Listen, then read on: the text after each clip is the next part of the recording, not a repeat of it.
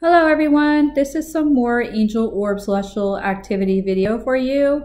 And I'm going to be splitting this into two different parts. This was taken on May 6th using my Sony a7R III camera. And I had dusted off my Lumix camera and was quite surprised at what I was able to capture using that.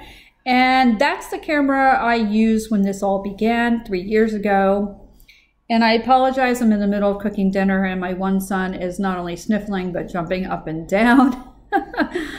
Fun never ends in this household and we, we keep making jokes that the angels are here because this is like a comedy show in this house.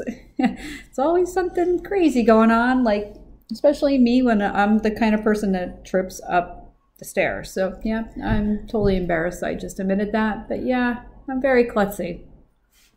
Anyway, it's allergy season and it's raining pollen all over the place and they're raining down as well, just as heavy. And they mix in without being seen. And it's pretty wild. It's, it's really, really incredible. And part two, I will get to hopefully tomorrow. And then I also have some nighttime footage to share because I it was raining, and then I decided to keep on recording after the rain stopped and was blown away. So I'm going to get around to that hopefully this weekend. Please hang in there with me. I apologize that I don't have as much time in a day to get as much as I want to get done. And I will gladly admit that I put writing on hold often to do this, but how can I not? Because it's just so wow. And in my last video, I mentioned about the dark winter ending and how, demons were still walking the earth. And then, sure enough, we are now facing a gas uh, crisis in many states, mine included.